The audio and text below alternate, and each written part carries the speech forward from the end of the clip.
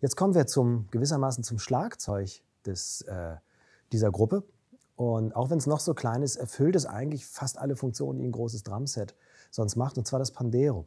So, eu falei que é bateria e pode cobrar tudo que precisa, não precisa mais bateria se tem pandeiro. Né?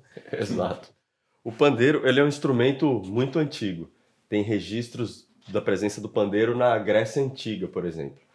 E no Brasil, claro, ele também chega pelos colonizadores portugueses, mas em Portugal, uh, acredita-se que o pandeiro tenha chegado pela influência, pela influência árabe.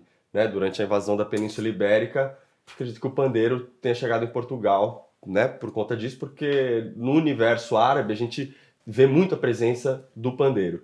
E ele é tocado de uma maneira diferente, com técnica de dedos, né? Tocado aqui, com uma, com uma técnica completamente diferente.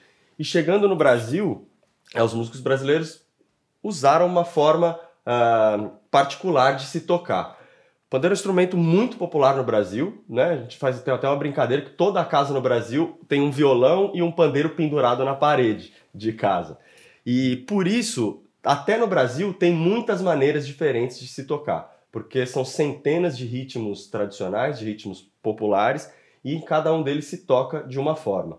Mas no choro, especificamente, uh, ele cumpre uma função uh, muito importante, porque, como você disse, ele substitui praticamente uma bateria. Né? Ele, o pandeiro é um instrumento que tem essa capacidade de ser uma bateria de mão.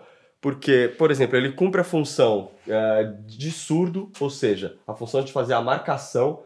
Então, na música brasileira, no samba, no choro, a gente acentua o segundo tempo. Então o primeiro tempo seria fechado, né? Aqui, e o segundo tempo aberto. Então, tim, tum, tim, tum. E eu uso abafando aqui para fazer uhum. esse tempo fechado e solto o dedo para fazer o tempo aberto. Então ele aqui já faria sozinho a marcação, que seria o surdo da escola de samba.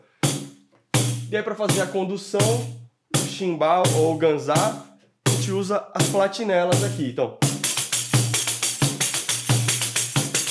E além disso, é, a gente pode também colocar a clave, né? A clave de tamborim ou frases que seriam usadas, por exemplo, na caixa da bateria. Então,